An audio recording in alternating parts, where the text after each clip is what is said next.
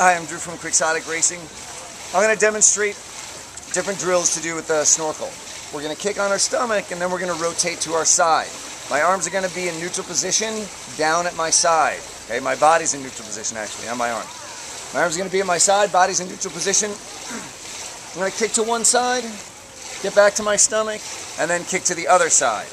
And what I'll demonstrate after that is progressing it with one arm out. So the first will be just both arms at my side, rotating.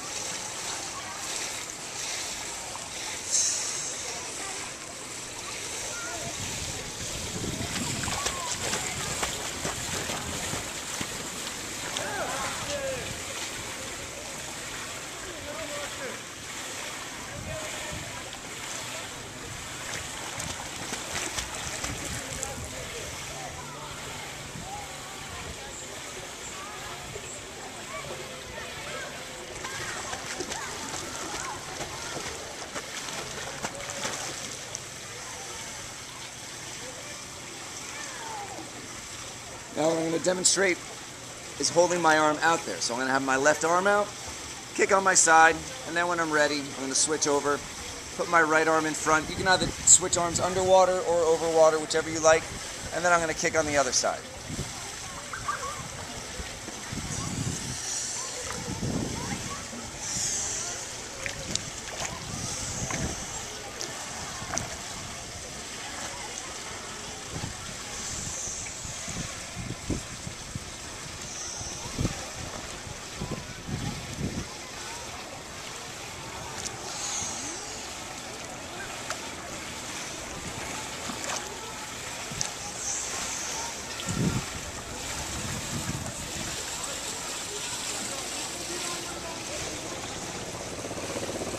So you can notice that I was establishing proper body roll from one side to the other.